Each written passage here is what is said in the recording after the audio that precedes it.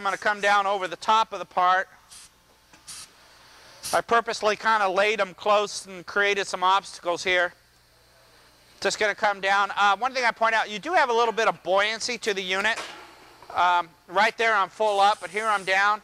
You can actually push up and down on this unit a little bit. So as you get a little close, you don't necessarily need to always use the up and down. Uh, my jaw arm's almost hitting back here, so I can kind of push up and down on it, get it set, and then hit my grip button. trapped in. Got the part securely. I'm going to come back here and uh, rotate it for you. It's one direction. There's the other direction.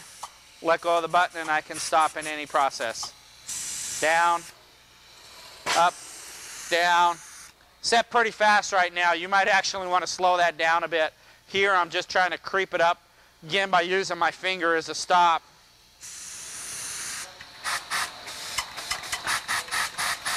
And that one's pretty simple.